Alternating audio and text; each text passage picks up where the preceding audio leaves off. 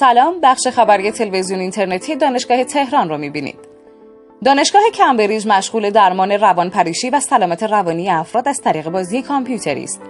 پژوهشگران این دانشگاه فرد را داخل قایقی می کنند و به همراه موسیقی ملایم او یاد می‌گیرد پنج ثانیه نفس کشیده و پنج ثانیه نفس خود را حبس کند و این کار را به مدت پنج دقیقه ادامه دهد. در مرحله بعد وارد سیاهچالی بسیار وحشتناک می شود که در آن حیولایی حضور دارد که توان دیدن نداشته و تنها صدایی که می شنود صدای تنفس فرد است. به طوری که با افزایش ضربان قلب فرد حیولا به اون نزدیکتر می شود تا جایی که فرد می تواند تنفس حیولا بر صورت خود را حس کند در این شرایط تنها دفاع فردین است که تمرین قایق را به یاد آورده و خود را آرام کند دانشگاه صنعتی شریف به منظور مرتفع کردن نیازهای اساسی نخبگان به ویژه اعضای هیئت علمی خود تفاهمنامه همکاری مشترک با بنیاد ملی نخبگان و معاونت علمی ریاست جمهوری امضا کرد که طی آن مقرر شد بنیاد ملی نخبگان سرمایه گذاری لازم برای احداث و بهره برداری از یک استاد سرا در یکی از زمین های متعلق به دانشگاه شریف را به عهده بگیرد. ثبت نام وام تحصیلی دانشجویان شاغل به تحصیل در دوره های کاردانی، کارشناسی، کارشناسی ارشد و دکترای عمومی دانشگاه علوم پزشکی تهران آغاز شد. رئیس جهاد دانشگاهی با انتقاد از روند مهاجرت نخبگان در قفلت مسئولان از مهاجرت دست جمعی آنان در قالب شرکت های دانش بنیان خبر داد. فیروز آبادی با اشاره به اینکه امارات 100 هزار ویزای طلایی به فناوران می‌دهد. گفت سالهای پیش وقتی یک جوان نخبه تحصیلات خود را به پایان میرساند به یکی از کشورهای پیشرفته مهاجرت می‌کرد و ممکن بود در این بین چند دوست خود را نیز برای مهاجرت تشویق کند.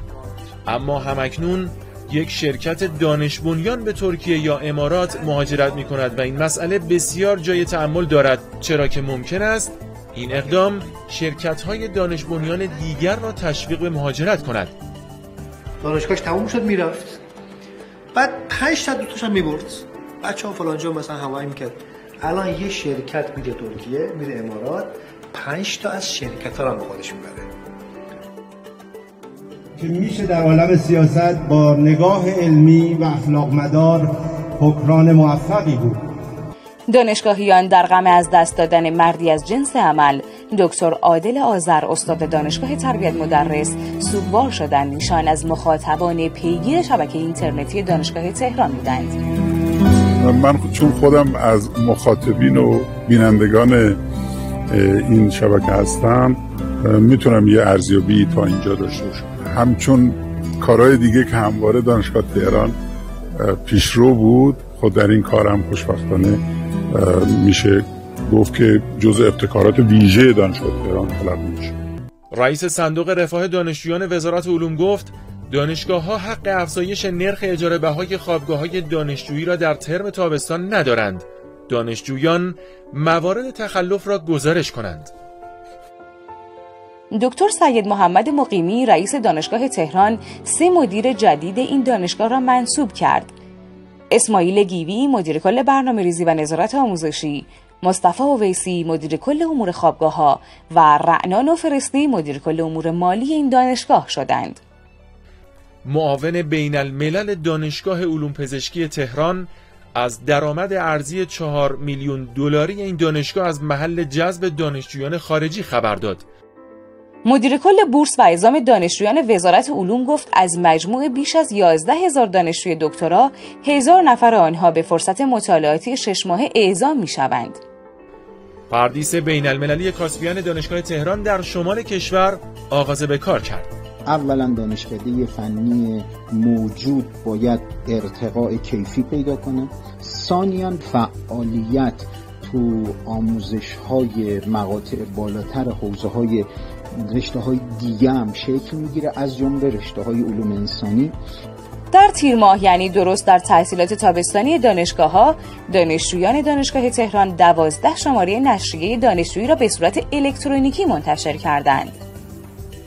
وزیر علوم می‌گوید تکثیر و توسعه آموزش های فنی و حرفه‌ای از برنامه های جدی این وزارتخانه است. تقی آزادرمکی مدیر گروه جامعه شناسی دانشگاه تهران بعد از حضور در تلویزیون اینترنتی دانشگاه اخیرا در تازه ترین اظهارات گفته است از مدیریت جامعه شناسی برکنار شدم. این استاد دانشگاه می‌گوید دارند دانشگاه ها را یک دست می کنند و اخیرا بنده هم مجددا برای مدیریت گروه جامعه شناسی دانشگاه تهران رأی آوردم و گفتند ما اجازه نمی دهیم شما مدیر گروه باشید.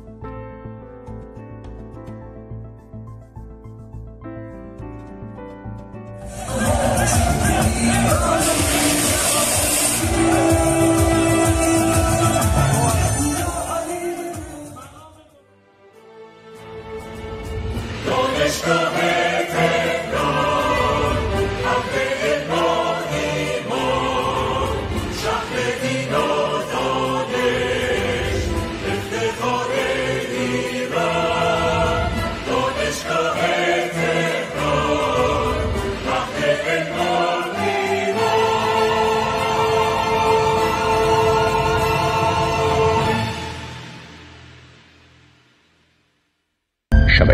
دانشگاه تهران شبکه حکمت و فرزانگی.